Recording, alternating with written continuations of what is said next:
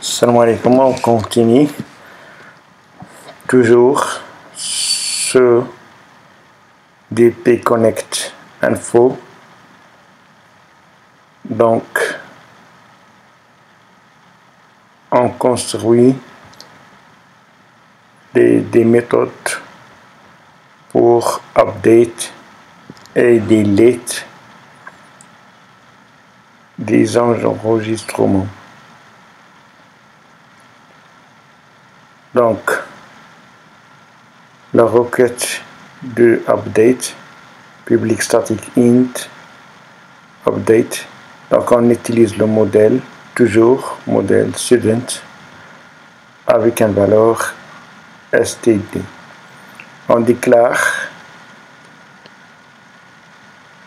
st du type int, on lui donne 0, puis cette méthode retourne st parce que ce n'est pas void. Donc, pour utiliser la requête update, toujours on écrit le code entre tree catch pour gérer les erreurs. Donc la requête de update MySQL update élève on fait le changement dans la table élève 7 donc la table élève qui nom prénom date niveau.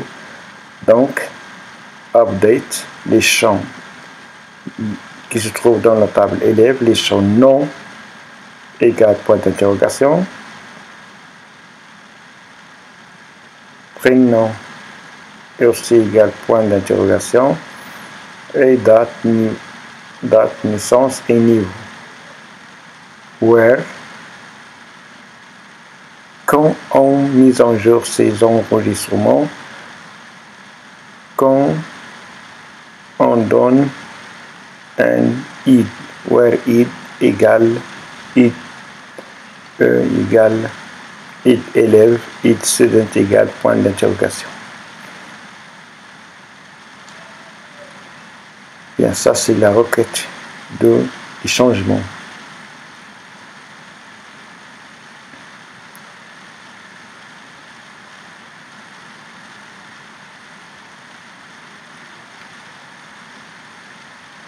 Donc, on ouvre la connexion. Connexion con. L'objet de la connexion. DP info. Pour la méthode de la connexion, c'est connect.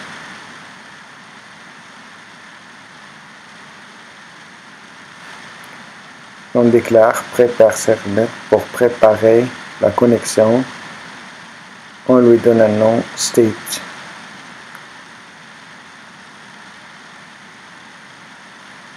Donc, offre la connexion state égale con point prepare segment. Ici, on prépare la connexion.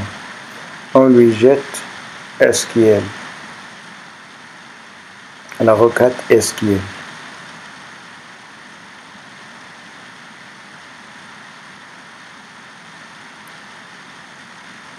donc cette string premier champ c'est le nom donc il faut le modèle student get nom le guitare.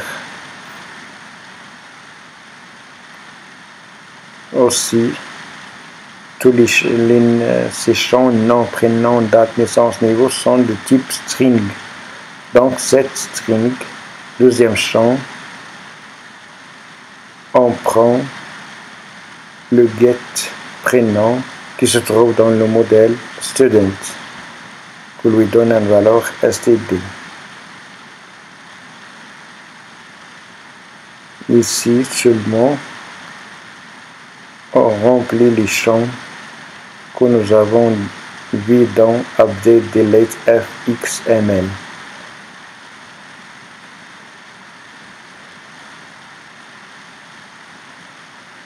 get date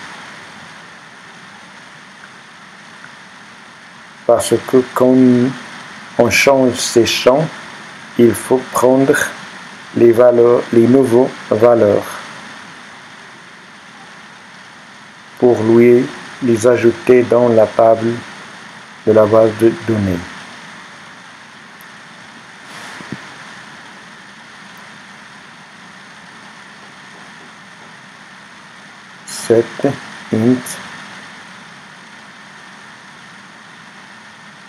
set int premier champ IDE c'est de type intègre donc set int ce n'est pas set un string c'est set int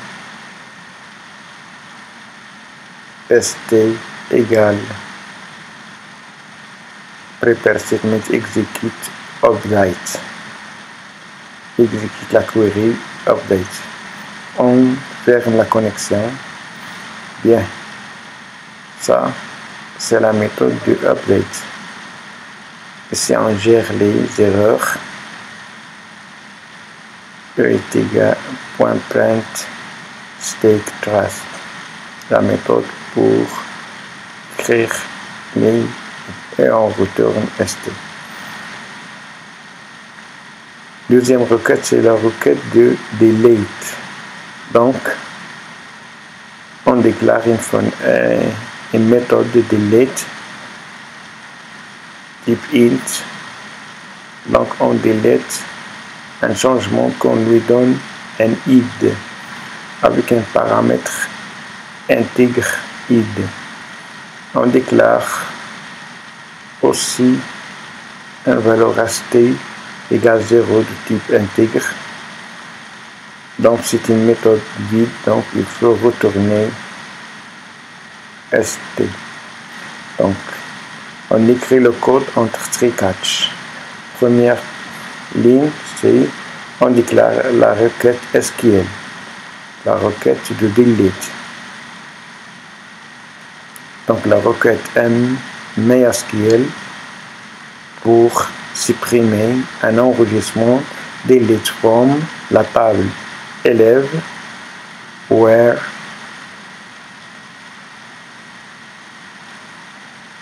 donc le champ IDE égale point d'interrogation. Ici, il y a une erreur, donc on oublie une, un Nicolas, on l'ajoute après. Donc on offre la connexion toujours. On déclare con de type connexion. On, on importe DP connexion info et la méthode de la connexion c'est connect. Prépare la connexion avec prepare statement.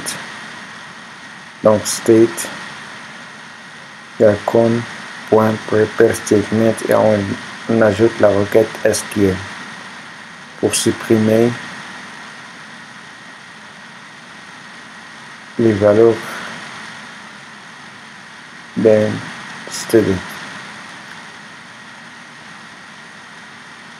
Ici, on supprime qu'on lui donne le ID le premier champ IDE. IDE, non, ce n'est pas IDE, c'est ID. On corrige ces erreurs.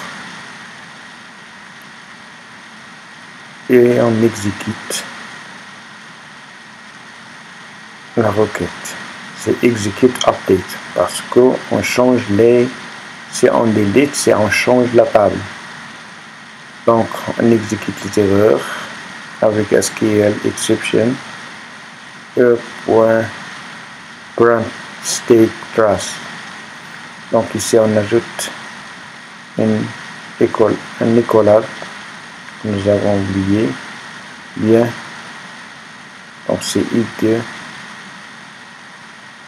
Donc avant de update ou delete donc il faut remplir les champs que nous avons fait dans l'interface update delete.fxml.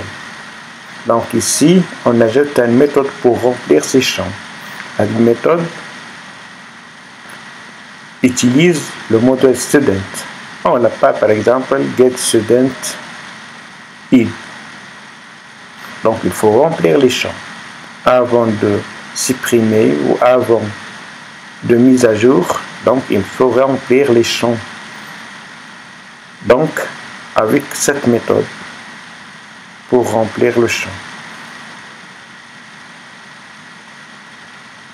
Donc on déclare la modèle student, l'objet student qui se trouve dans le modèle Donc c'est une méthode n'est pas void, donc il faut retourner std.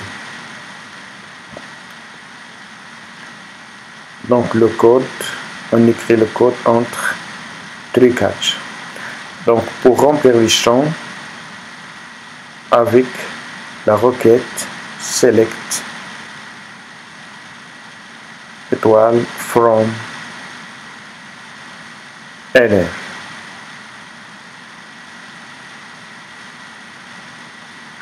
Where IDE. Le champ, quand on donne le champ IDE, il faut remplir les champs avec cette IDE. Donc on écrit le code entre catch. Donc, comme toujours, il faut offrir la connexion. Pour ça, il faut ajouter un objet con de connexion avec la méthode connect qui se trouve dans la classe début connexion info. On prépare la connexion avec prepare statement. Ça égal con point prepare statement et on ajoute la requête SQL. Donc pour remplir ces champs, state.set int, premier champ, on ajoute n, int.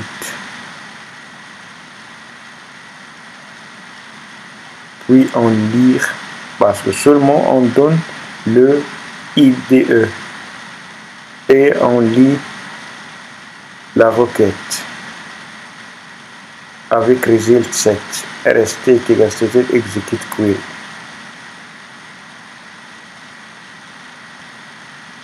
Donc, if r is égal point next, on 9